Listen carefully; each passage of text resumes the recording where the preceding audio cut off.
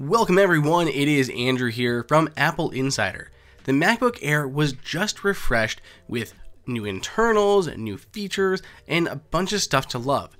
We've already looked at really what's new with the MacBook Air, so for this video we're going to be comparing two different models, the base dual-core i3 processor and the high-end quad-core i7 processor.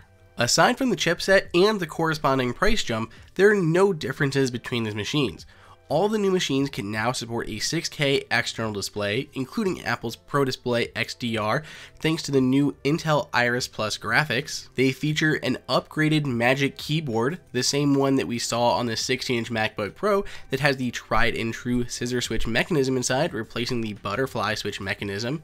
They now can be configured with up to 2 terabytes of maximum storage, and the base unit now will start at 256 gigs instead of only 128. Now the previous generation MacBook Air started with an i5 processor, but the new models start with an i3 processor.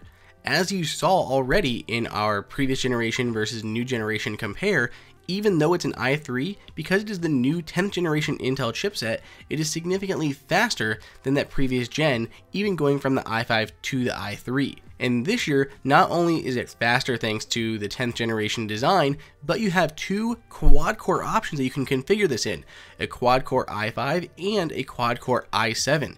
So you have two upgrades that you can do. Now, we're going to start off with the i3 processor. As you can see, this is the MacBook Air Retina 13-inch 2020 with the 1.1 GHz dual-core Intel Core i3 processor. As usual, we're using Geekbench and we're using the latest version, which as the time of press is Geekbench 5.1. And we run the test a few different times just to see, kind of get an average on what our performance is going to be like. And after running it a few times, we are seeing results around 1095 or about 10 and a half to 1100 there for the single core and about 2400 for the multi-core scores just a tad below that on the multi-core scores. Compared to the previous generation definitely an improvement. But we're not stopping there. We want to know how it compares to the brand new quad-core i7 chipset. That is the most upgraded you can make the macbook air.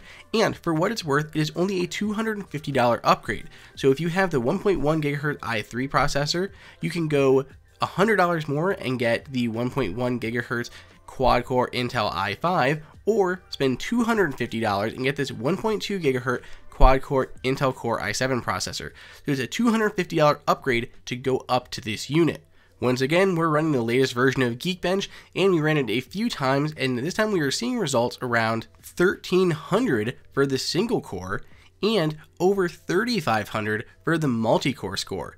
Those are substantial gains yet again from the base model of the 2020s and even a bigger jump from the previous generation. Here you can see side by side going from a 1074 to around 1300 and a 2412 going up to a 3514. Obviously, multi-core is getting the biggest gains because you are going from a dual core to a quad core chipset. Honestly, for $250 price jump, that is not bad at all, especially considering the new model start $100 lower than the previous gen. If you want to grab a new MacBook Air in either configuration, you can find the best prices at the link down below in the description.